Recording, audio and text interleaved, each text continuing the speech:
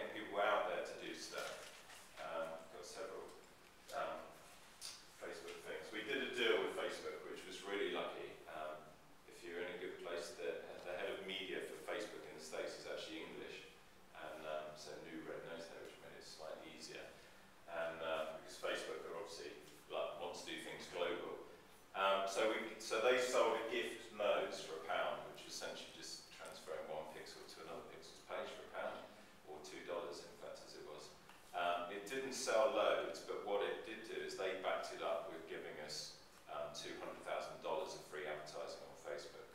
So we went, so for the first six weeks of our campaign,